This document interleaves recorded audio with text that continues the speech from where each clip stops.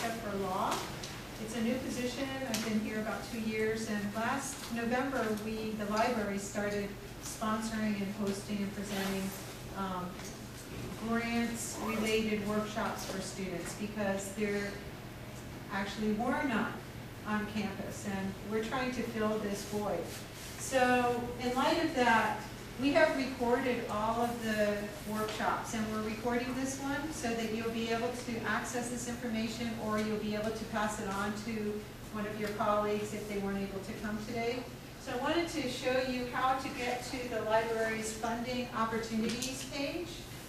So if you come here to the library's homepage, and then you click here, which is the second button on the left, using the libraries,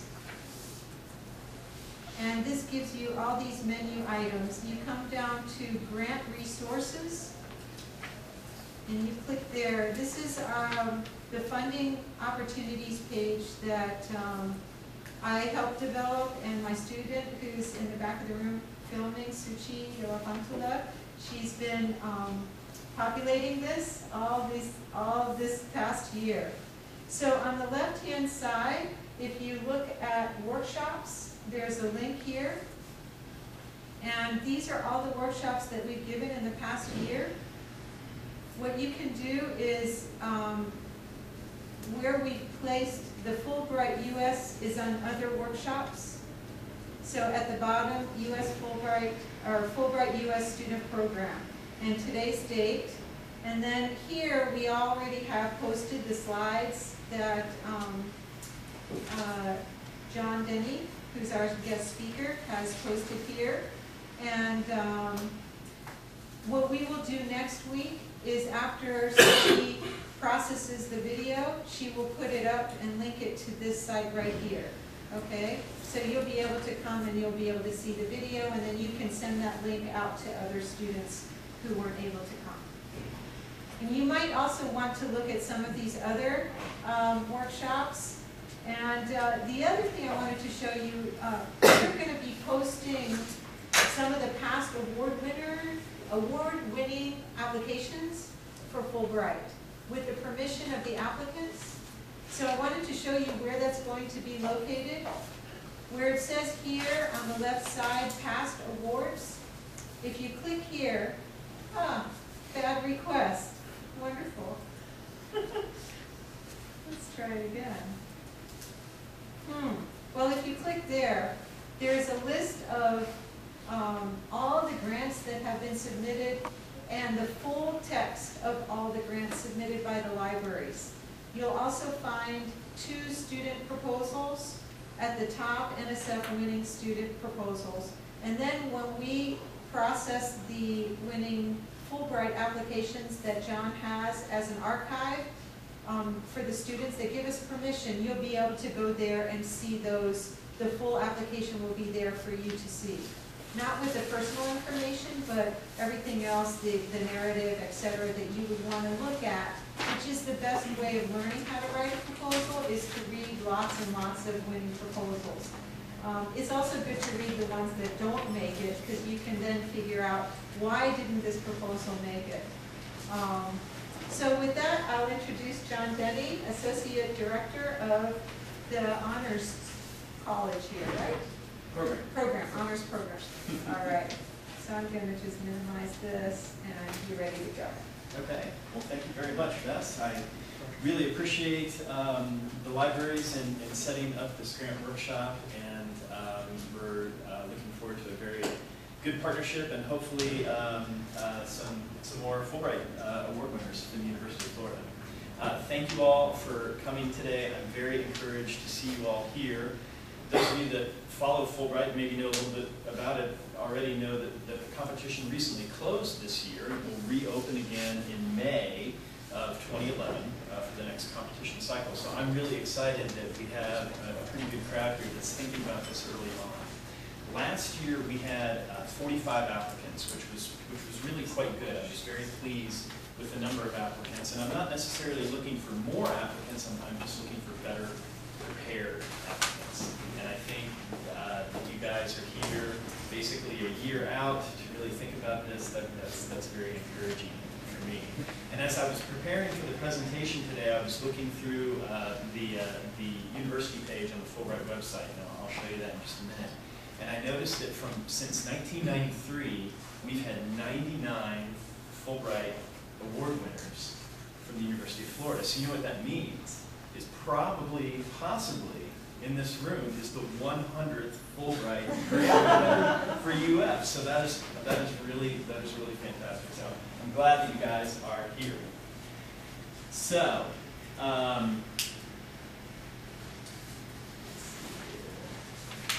okay, um, this uh, presentation is going to go over all the, the basics uh, of the Fulbright program, what it is, what it pays for, the basic components uh, of an application. Uh, it's just going to give you a real general overview of, of the uh, of the process that you're going to embark on uh, over the course of next year. Um, and please, as I'm, as I'm going along, if anybody has any questions or comments, feel free to throw up. All right, so the Fulbright program is sponsored by uh, the U.S. State Department, and it is the flagship of cultural exchange programs uh, sponsored by the federal government. Um, the general uh, Fulbright program information can be found uh, at that website and they have recently reorganized it. It's much cleaner, it's much easier to navigate.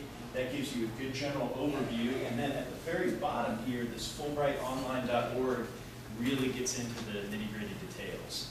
Talks about all the different components of, of, the, uh, of the application, and gives you a lot of very detailed information. So the fulbright.state.gov is a good place to get started.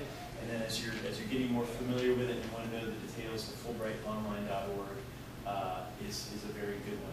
And Fulbright, although they bill themselves as the, the, the premier, the flagship of the cultural exchange programs uh, sponsored by the federal government, there are many other uh, international exchange program opportunities, and they can be found at exchanges.state.gov.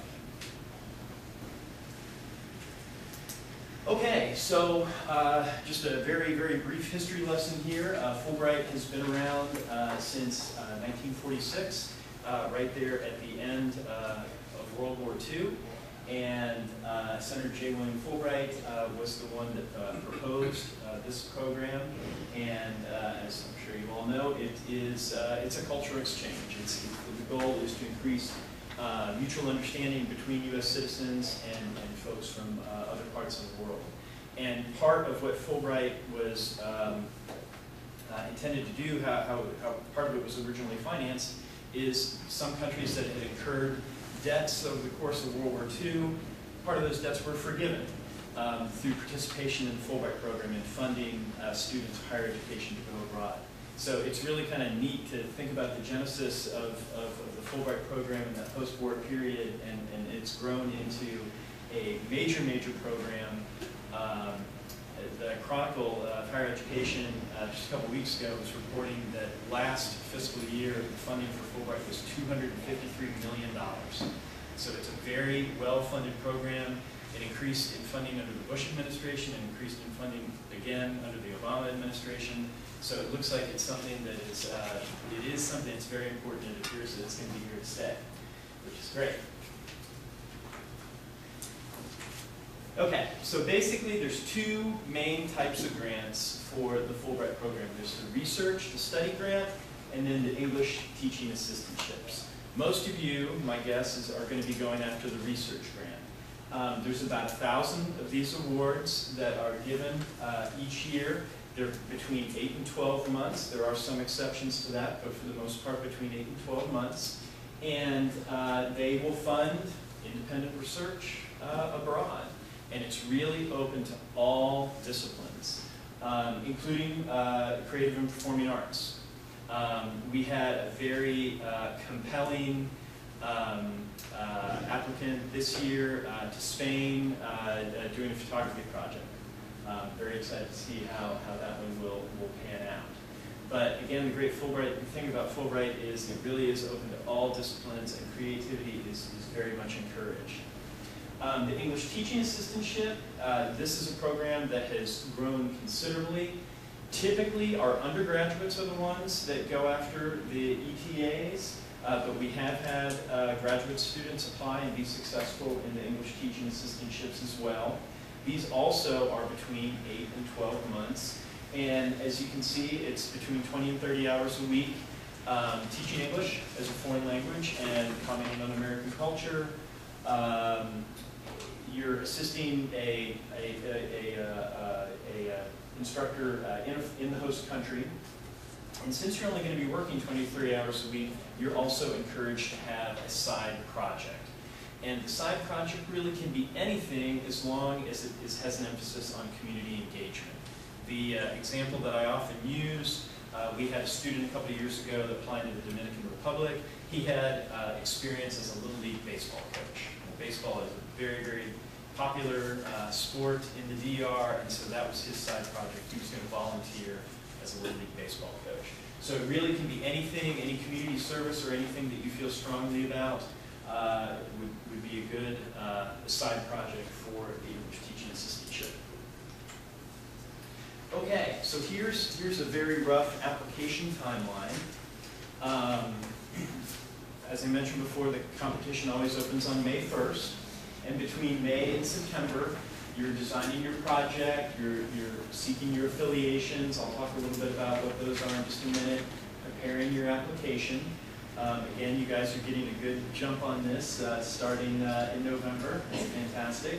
Uh, Many of you who are in PhD programs, most of, most of you will be going to collect data for your dissertation. So you probably already have uh, an idea of what your project is, is roughly going to look like. The uh, campus deadline is in September. The tentative date for the campus deadline uh, this year is September 10th. Um, We will finalize the deadline once the competition officially opens in May, but it's going to be, it'll be within a few days of of September 10th. Um, The IIE, Institute for International Education application deadline, IIE are the the folks that that administer the uh, the Fulbright application process. That's October 18th, and that is, that that's the final deadline when everything has to be completed. The campus deadline is, is the time in which you have to have essentially your first draft of the grant proposal completed. At the time of the campus deadline, we're going to gather uh, all of the information from the applicants, and then we are going to put together a, uh, a campus uh, review committee. And our campus review committee is composed of faculty at UF who are all Fulbright scholars themselves. And they will review the application, and they will, will call you in for an interview. The interview is about 20 minutes. And in that interview, you will give a basic overview of what you intend to do, and then our faculty will have opportunity to essentially critique your application, and they'll give you some feedback. And the nice thing about the Fulbright campus review process is it's supportive in nature. At the end of the interview, we're going to give everything back to you, and you will have the opportunity to make revisions and then resubmit by that IIE application deadline of October 18th. And this, I think, is as good a time as any to introduce a couple folks in the back of the room. Dr. Art Sandeen uh, is a uh, former student affairs administrator here at UF and now is with the uh, College of Education, and he's been a great help uh, to me in reviewing uh, uh, Fulbright applications. He gives excellent, excellent feedback. And then uh, Dan Rebusin, hope I pronounced that last name right, Dan, Yep. uh, is a Fulbright Scholar with the uh, UF Library Program, and he serves on our uh, Campus Review Committee as well. So you'll, you'll be seeing those two gentlemen in the future, I hope. Okay, so that's uh, the final deadline, October 18th. All i's are dotted, t's are crossed, that sort of thing. Goes in uh, to the Institute for International Education, and then the long wait begins. Um, Right now, uh, the national screening committees are going through all of our 45 applications from the past year. And those students will find out at the end of January, it's usually January 31st, they'll find out if they're recommended for a grant or not. If they're recommended, then their name goes onto a short list and the, and the uh, application goes to the host country. Host country will make their decisions between January and May. And that's when they find out if they'll actually get funding uh, for the Fulbright grant or not. And so most students will find out uh, between March and June.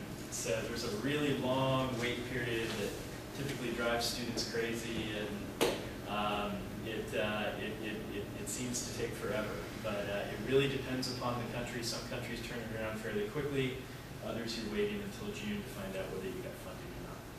Yes, sir? Do you guys know like which countries are like more competitive, like which ones have a lot of applications submitted versus, I guess ones that, you know, would be easier to, uh, get a grant for? Yes, yes, that's a very good question, and all that information is available on that US, that Fulbright, dot, FulbrightOnline.org website. You can see from the past grant year, how many applications were submitted, how many grants were awarded, and then you can see the numbers uh, of grants available for the, for the coming year. Now, it's, those numbers are a little bit stale right now, uh, they haven't been updated quite yet because the competition just ended, but you can get a pretty good, pretty good idea. But that's, that's a very good thing to, uh, to think about. Certainly, you don't want to entirely base your application on, on, on, on the odds like that, but, but it can help you to, to make. Okay, and I'll, and I'll, I'll show you that uh, website here in just a little bit. So just briefly about eligibility, uh, this program, you do have to be a U.S. citizen. There are other Fulbright programs that are open to non-U.S. citizens, but for the one we're talking about today, you do have to have citizenship. Um, you have to hold at least a bachelor's degree by the start of the grant. So if I have any under, undergraduates in here, that means you're applying in your senior year, you're still enrolled, but all my Fulbright applicants for next year will either graduate in December or May. So you're applying in your senior year, and then after your senior year is when you would go abroad to do your Fulbright grant. Um, master students, perfectly fine. PhD students, perfectly fine. You just can't be holding your PhD by the time you apply for a Fulbright. And once you get that PhD, and you get that great first faculty job, then, of course, there's, there's another Fulbright Scholar Award that you can apply for as a faculty. And you can get it both as a graduate student and a faculty member. Um, Depending upon the country, uh, you're going to need some proficiency in uh, the written and spoken language of the host country. There's, this varies widely from country to country. If you're applying to Mexico, they're going to expect that you're approaching fluency in Spanish. If you're applying to Mongolia, you know, fluency is not really expected. So if you're, if you're applying to a country that has a, uh, has a, uh, has a language that's not easily accessed in the United States, there's going to be less of an expectation. But the language is very, very important. And also, it really depends quite a bit on your discipline. You know, if you're doing a uh, anthropology project and you're going to be doing ethnographies and detailed interviews and real qualitative kind of data stuff, that language component is going to be very, very important. If you're doing more of a, oh, I don't know, an economics type of a project where you're going to be looking at data and crunching numbers, the language is always still important, but it might be a little bit less so in that project. So it really depends upon the country and it really depends upon the type of uh, discipline you're in. Um, I, a few years ago, I lived in Egypt and I met a lot of Fulbright scholars there and quite a few of them I noticed were studying Arabic as their Fulbright project. So how does that factor in? Do you have to be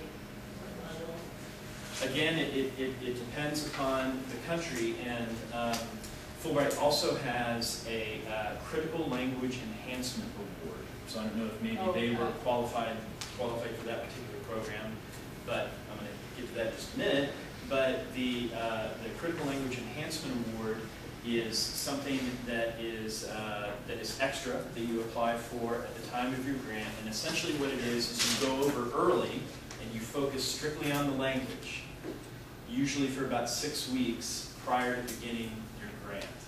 So, they were uh, on a grant just to learn the language. pardon me? They were on a, a grant just to learn the language, as far as I understand.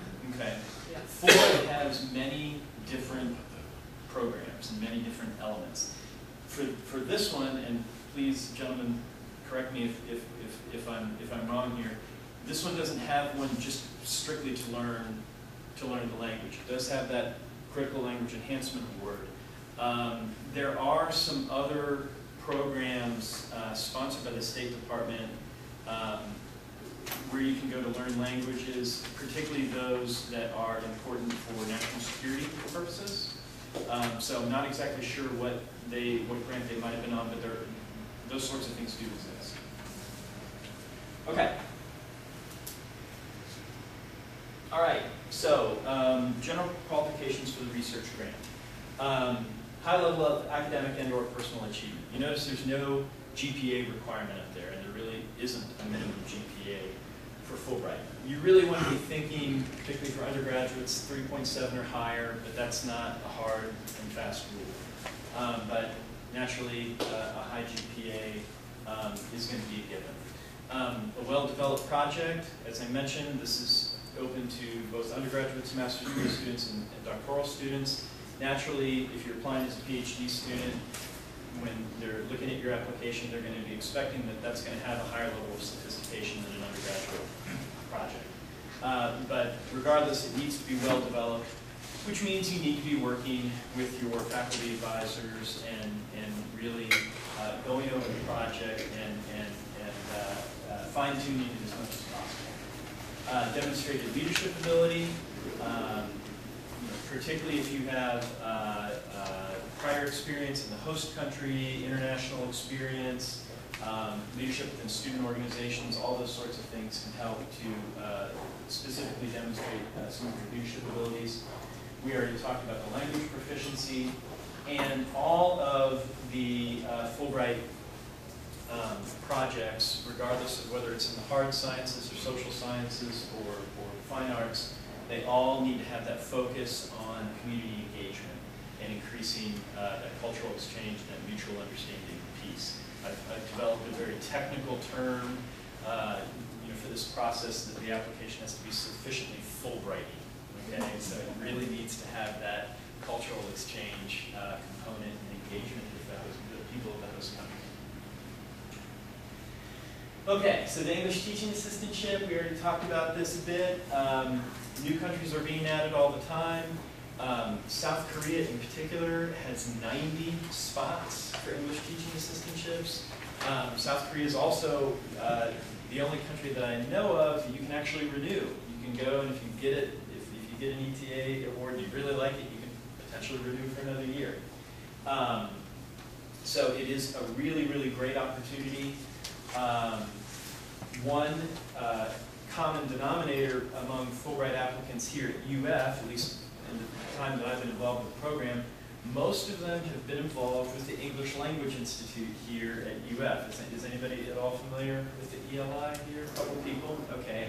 The English Language Institute is a place where international students, typically graduate students, enroll primarily to work on their English language skills before they start their graduate studies here at UF. And the ELI is commonly is, is routinely looking for conversation partners as volunteers. So basically, you go out on a beautiful day like today and sit in the Norman courtyard on a picnic table, and you get paired up with a graduate student, and you simply work on their English skills. And that's a great way for you to get experience in an informal setting to be an ETA, and it's also a great way that if you're studying Arabic, to uh, uh, you know work on your Arabic skills with, with a native speaker. So uh, I encourage you to check that out as a potential volunteer opportunity. The ETAs are available um, elementary school all the way up through uh, college level. Some countries will allow you to specify um, you know, what grade level you would, uh, what group of students you would like to work with. Others, others will just assign you. I already talked about the side project, emphasizing community engagement, and where the language proficiency isn't necessarily required at the onset, if you do have experience with the language of the host country, the better your chances are going to be for funding. Okay, so all this sounds great. What do I get out of it? In addition to an amazing experience, of course, it covers uh, your transportation, your airfare to and from. Um, you get a monthly stipend, and the monthly stipend varies from country to country. Um, when I went to a Fulbright training uh, sponsored by IE down uh, in Orlando, the, the comment was nobody's ever starved on a Fulbright. So basically, you're living at kind of grad student standards. They're going to provide you with enough funding to have a comfortable you know, place to live, enough food to eat, you know, those sorts of things. They, they, will, they will take care of you. Uh, the, the insurance is taken care of. Some countries will offer support for dependents if you want to take your partner along. Um, research allowance, tuition, language lessons, enhancement activities, are all uh, possible grant benefits. So as you can see, as we're going through here, I, I keep saying it depends country to country. Fulbright is one program, but in a way, it's 155 different programs because they have partnerships with all these different countries. And country to country, the, the rules might be, the rules and policies might be a little bit different. Okay, here's the uh, critical language enhancement word that we commented on uh, earlier. Uh, this is um, uh, funding for grantees that, that have had, in some cases, some experience already with the language, but really want to uh, increase their level of proficiency. and um, it, the language lessons can go on before, during, and even after the Fulbright grant period. Most of the ones that I've seen for different countries, you, get there early and you, and you really focus on the language prior to beginning um, your research. And the Critical Language Enhancement Award is something that you apply for in addition uh, to the Fulbright grant program. So you, you, you do the, the standard application for the research grant and then indicate on there that you're also applying for the Critical Language Enhancement Award. Is that for both the English teaching assistant and the regular research or only for research? That's limited to the research grant. That's a good question now. Uh, this very busy slide, um, again, as Bess mentioned, uh, this PowerPoint is already up on the library website, so don't worry if you can't really see this. Um, some uh, languages to apply for the, for the Language Enhancement Award requires some prior experience. Arabic, for example, they want you to have a year of college level Arabic uh, before um, uh, you, you apply for the Arabic uh, Enhancement Award. Other languages, uh, like Farsi, something that would be relatively difficult to access in the U.S., there's no minimum language requirement uh, for, for certain languages. Okay? All right. So this talks about the uh, application components of the Fulbright grant. Um, first of all, the basic personal data. That's that's what you would expect. Scholarships you received, extracurricular activities, student organizations you participated in, affiliations of professional organizations, those sorts of things. Then uh, the the real kind of meat of the uh, of, of the proposal is um, your statement of purpose uh, essay and your personal statement. And as you can see for the research um, proposal, uh, it's two pages. And initially you think two pages, no problem, knock that out in the afternoon. But actually, to sum up 12 months of research activity is a very, very challenging thing to do in two pages. So it's something that really requires a lot of careful thought. Every paragraph needs to count, every sentence really needs to count. So it's something that you need to get started on and then, and, and then continually uh, revise and get a lot of feedback on. But that's, that's what Dr. Siamin and I are for. We can help you uh, refine those proposals and get them the best that they can be. As well as your, your dissertation advisors, your thesis advisors out there, they're also good people um, to run those by. So the statement of, uh, statement of purpose uh, for the research uh, proposals is two pages. For the English teaching assistantship, it's just one page for the statement of purpose. And then all of them require a personal statement. So the personal, the, the research proposal is this is what I intend to do, this is how I'm going to do it, this is a basic timeline of, of, of how I'm going to uh, uh, implement this proposal. And the personal statement is why am I the best qualified person to uh, uh, to fulfill this grant? You know, what are my educational qualifications? What are my personal qualifications? You know, why am I the person, uh, best person for this job? The language report or language evaluation, uh, as it's referred to, if you apply to a country, I mentioned Mexico before, which expects a, a essentially fluency in Spanish, you're going to have to have a language evaluation, and that's done by contacting a faculty member here at UF that teaches Spanish. They'll have a brief conversation with you, and they will complete a language evaluation form. And essentially, it's just their, in their professional professional opinion, what your level um, of uh, proficiency is with that particular language. Um, not all countries will require a language report. You need three letters of reference. Um, ideally, these are all from faculty members. They don't necessarily have to be all from faculty members. If you did a internship or, um, you know, some other activity where your, your referee can speak to your work ethic, your ability to work independently, you know, those sorts of things, that's perfectly fine. But I would say, really, at least two of them, you know, need to be from faculty members. Um, like many uh, scholarship applications these days, what you'll do, it's a, it's a completely online application, and you input the email addresses of your, of your recommenders into the, uh, the Embark system, that's the, that's the online system, and then it will email your, your recommenders and explain to them how to upload their letters of recommendation. There's the campus committee evaluation, and that's something that I will upload after you have your campus interview. And uh, then your letters of affiliation. Letters of affiliation are essentially an endorsement from someone in the host country saying, yeah, I know John, I understand what his proposal is, and I support it, and I'm going to give him support in the following ways. The letter of affiliation can be from a university in the host country, it can be from an NGO, um, it could be from some other sort of institution or organization within the host country that basically talks about how they're going to support you while you're doing your Fulbright grant. It's not necessarily required for every country. Some countries will absolutely require uh, that you have a letter of affiliation.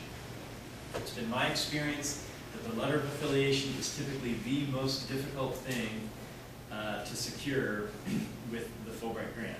So that's something that, that you really need to start working on early uh, because sometimes it can take quite a while to uh, develop those relationships. And if any of you are studying abroad or you're doing a preliminary uh, research visit for your dissertation, that's when you start need to making, be making those contacts uh, in, in the hopes of getting a good letter of affiliation. Okay. Uh, supplementary materials. Is anybody planning on doing a creative uh, fine arts? Yes. Okay. Cool. Let's sit up front.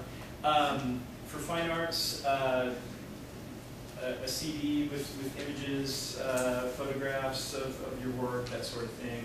There's more information available um, on the site about the specifics of, of the format of those, those sorts of things before you go on, Yeah. the, who facilitates the language report, um, evaluation? How does that, how does a student go about getting one of those? Um, Do they contact you? No, uh, they- they'll contact a, a faculty member directly, and particularly if they're undergraduates or, or have studied the language here, then I just recommend that they contact a former uh, professor. If it's a graduate student and you don't, and you did your language study uh, as an undergraduate at another institution, I can certainly help kind of point you in directions. Um, but it, it, it could even be a, a former instructor at another institution. I've had students do the uh, language evaluations over the phone uh, with the instructor, and the instructor will sign off on it. So, yeah, but we're, we're definitely here to help with that if you, if you run into any trouble.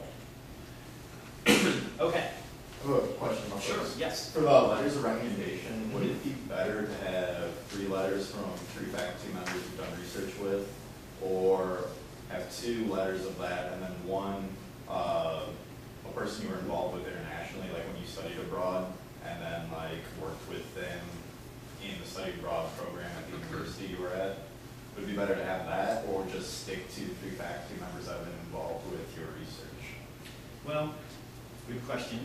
Um, the, the person in, in the, that you work with internationally, is this in the, the host country that you intend to apply to, or? No, this is like when, like, so like when I studied abroad when I was an undergrad, then I was in like a study abroad ambassador for the university, and then did various things in that. I didn't know if it'd be good to have that advisor mm-hmm. as opposed to one of the three faculty members that you've done research with, like getting that international aspect of like what you've done. Well, I mean, I, I think, I think it, it, there, there is a lot of value that, for somebody that can write about, you know, how you adapt to a different culture, how you, you know, how you were able to work all abroad, you know, those sorts of things. I think really what it comes down to is who can write the best letter for you, you know, who, it is, naturally, at least two of those need to be from faculty members that can really talk about your academic preparation, you know, talk about, I assume, are you talking about doing a research grant? Yeah. I suppose. Um, you know, talk about, you know, the preparation for your dissertation, you know, those, those sorts of things. But, you know, somebody that has experience working with you internationally might provide a very valuable letter as well. So that's probably something we should sit down and talk individually about. Sorry, I just have one more question on the language report. Um, what if it's your, like, for example, if it's Spanish, your Spanish teacher or somebody you've been working on? Or does it have to specifically be a faculty? It needs to be a faculty member. Okay. Yeah, it needs to be a faculty member. If you have a language certification from the host country, is that accepted? Uh, like, Like the TEF, like TEF or, like, I'm thinking French, there's various Mhm. The- the- the- qualifications that offer. There's, there's one, there's one in Germany too, the name of it's escaping me right at the moment. Um, They, no, you, you need an evaluation from, from a faculty. And as I said, if, if that's, it, it's, it's really not a, uh, it, it's really not a big, uh, it, it's a, it's a relatively brief conversation. Many of the, uh, faculty here at UF are, are accustomed to doing these things, and, um, we can help get that set up. Okay. Um, how to apply? Okay, uh, last year uh, was the first year that uh, Fulbright moved to a completely online format, which is good news for you guys. Uh, it used to be that everything had to be done in hard copy and electronic copy. It's all online now. Um, the references and language report, again, you give your referees instructions and they upload it. Uh, the letters of affiliation are scanned, you upload them. Your transcripts are scanned, and you upload them as well.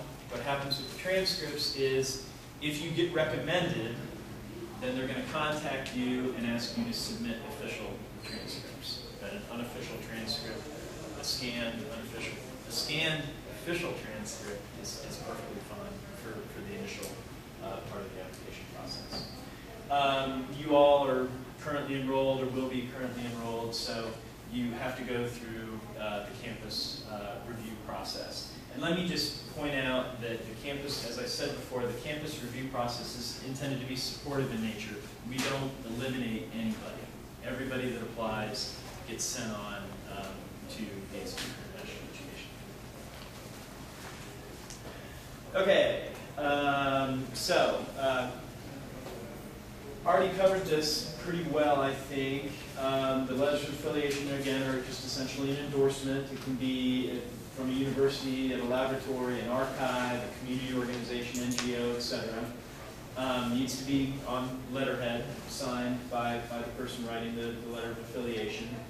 Um, English teaching assistantships do not need a letter of affiliation. It's only for the research grade. Okay, um, so this is some contact information from the folks at the Institute for International Education. As you can see, they've divided up different regions of the world. Um, I would encourage you that if you have any initial questions, to contact myself or Dr. Sandeen. Um, if it's a real specific question um, about the host country, we may refer you on to the good people at, at IIE. Um, I have been incredibly impressed with how quickly these people respond. Anytime I send them a question, I, I a lot of times we get a response back the same day. But um, although I would start with us, you shouldn't hesitate to contact these folks. I find them to be very, very helpful. And then uh, my uh, contact information as well as Dr. Sandeen's. Um, happy to set up appointments with you. Uh, if you are going to be studying, uh, if you're going to be abroad uh, during the competition cycle um, next year, uh, we had uh, Skype interviews in uh, Botswana and the Netherlands this time, so we can, we can accommodate that. Uh, if needed, my Skype name is Fulbright at UF. Okay, so uh, Institute for International Education has embraced social media and all those fun things. So if you're into tweeting and podcasts and all of the above, you can you can check that out. Um, the uh, the YouTube channel they have basically has alumni testimonials, basically talking about what their experience was and, and, and how it worked. The uh, the student applicant blog I'm not sure how the applicants have time to write these blogs with everything else that they're doing, but they are pretty helpful. Um, kind of gives tips and, and, and, and talks about uh, what the process has been like for them. The webinars, same sort of thing. And with the email address list that's going around today, uh, Bess is going to give me a copy of that, and I can send out reminders from time to time when when Fulbright has their webinars. No charge to participate in it, but you do have to register for them, but I I do find them to be helpful. Okay, here's a uh, shameless plug for International Education Week. Uh, For those of you that maybe are looking uh, to, to uh, develop affiliations, there's going to be a number of non-governmental organizations and uh, private voluntary organizations uh, tomorrow at the Reitz Union. Uh, You can see, um, uh, it's, it's going to be a day-long event. Uh, The web address is there, and there's a, there's an agenda uh, available, but um, great opportunity uh, tomorrow uh, to explore some activities of NGOs, see what countries they're involved in. Uh, and It might be a good, easy first step to uh, possibly developing some affiliation. so I encourage you to check that out. I think that I heard that over fifteen NGOs are going to be there, um, um, Okay. So, with that, I've been talking a lot. I'd be very happy to entertain any questions. Yes, sir. Uh, sorry to write my question before, but on the graph of the Critical Language Enhancement Award pages, one of them says that it is not eligible for the ETA award, which suggests to me that the others are. Like it says for, uh, Indonesia, ETA not eligible for CLEA, which makes me think that maybe, and it says Power Caldwell Language Study, parentheses, ETA. So Okay. what does that mean that there would be? Well, uh, typically, typically those language enhancement awards are affiliated with the research grants. As I mentioned, there's differences from country to country. Um, So it's, it's possible, it's just not that common. I suppose it is possible, yes. Okay. Thank you for pointing that out. But I think that's the kind of thing, if you contact the IIE person there and tell them specifically what you're interested in, they can give you a yes or no right away. Okay. There's a list of languages as well that's issued by the State Department that qualifies for CLEA. Okay. So you should probably, I don't know, maybe say, contact the CLEA administrator to find out what languages are employed. Yes.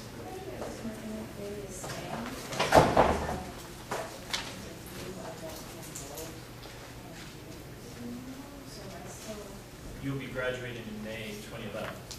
Yeah. Um, right. You will apply as an at-large candidate, which there's really no disadvantage to applying as an at-large candidate. You won't go through the campus interview process. I'm gonna be happy to, you know, take a look at your grant proposal. You're welcome to uh, review some of the grants um, that are available. More will be coming on the institutional repository site. Uh, We had uh, permission from two winners last year, one in physics, one in art history. Um, But we have a number of hard copy examples of proposals that are in the honors office, which is on the third floor of the infirmary building, and you're welcome to come in and and take a look at those. It, it's really helpful, as Bess mentioned earlier, um, to look at uh, examples. Uh, It kind of gives you a feel for what these grants uh, look like, and the flow uh, of the grants, uh, of the writing. So please come in and check this out. Yes? Um, this is related, but I'm graduating with my MA in December twenty eleven. That would be after the application process started, so would I, could I apply through UF or would I have to apply? Yeah, you'll, you'll still, you're, you will still be enrolled. The Okay. deadline will be October Okay. 2011, so you're, you'll, you'll go through the regular campus process. Would you want to go back to the site and show the number of awards per country, or there was that Yeah. question ahead of time? Okay, I think that might be really interesting. Okay. This is, um, this is our university page, um, on the Fulbright, uh, site. And, um, it was a good thing I did this presentation, it was a little bit of a kick in the pants to get me to update the page. So I have updated it, it should be updated tomorrow. You can see that we still have uh, this year's um, uh, uh, uh, application information on there.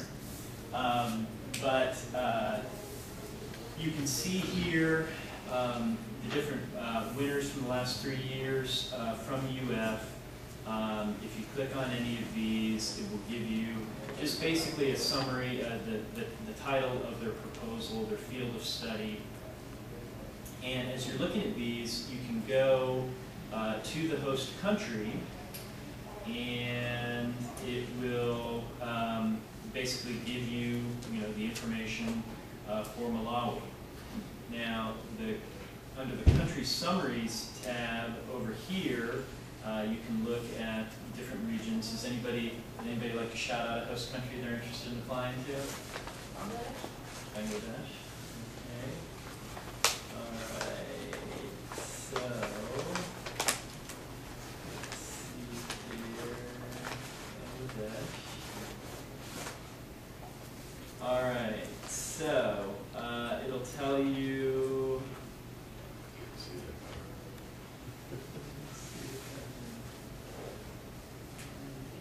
Here. I'm a bit of an old-fashioned I like to my, my, my paper book and I can easily get to it, but it is on here. Let's see. Um, hmm. Seems to- seems to- Put it right in front so you can see everything.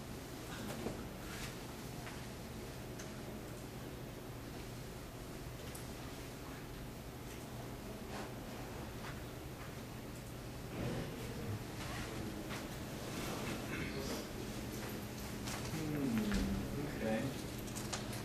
Well, I'm obviously looking in the wrong place here. Um.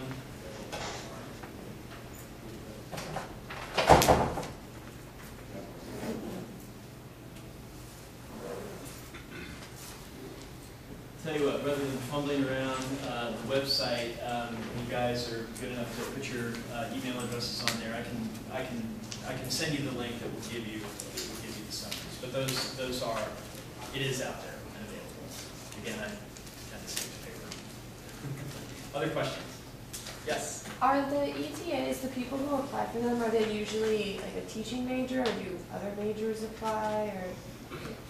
Not necessarily. I mean, you don't have to be, uh, you don't have to be an education major. You don't have to um, uh, have a minor in teaching English uh, as a foreign language. Um, Those things certainly help. Um, But uh, again, students at UF have been very successful. They've simply had some volunteer experience. It it is helpful if you've had tutoring experience. It doesn't necessarily have to be in teaching English that any kind of teaching, tutoring experience is going to be very helpful. For the ATAs, it- seems like there's, in the application, less space for you to kind of explain what you want to do. I mean, probably you're just teaching, so that's a lot of what you're doing, but what kinds of, I mean, is, is your extra community project something that they're really looking at when they're choosing people? Because it seems like most of the application of that's just numbers. I've taught, I have this much language experience, uh, give me money to do what I was gonna do anyway, if you were gonna teach ESL anyway. Well, yeah, I mean, you're, you're right, the, the, the, um, the research proposal, I mean, naturally, you have to explain, you know, what your intended project is going to be. The English teaching assistantship, well, it's obvious you're going, you're going to teach English. So in that project proposal, you're really talking more, um, about, you know, again, your, you know, what do you hope to get out of this? You know, how is this, how is this going to fit in, um, you know, to your career path? Um, Again, explaining, you know, you know, why you're, you know, best qualified uh, to do this. We have, we've been fortunate in the past four years, we've had at least one English teaching assistantship winner at UF, and we have, although we, we're not going to have any immediately in the institutional repository, I do have examples up in the back of the honors uh, program office. So that would be good for you to come in and take a look. other questions? No? Okay.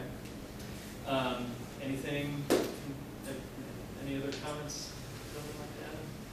Okay. Well, uh, if you haven't done so already, please make sure that you sign um, the, uh, the sign-in sheet. Um, I would be very happy uh, to speak with you uh, about your grant proposals, and uh, I thank you for your interest in Fulbright, and I hope to uh, work with you in the near future. Thank you very much for your time.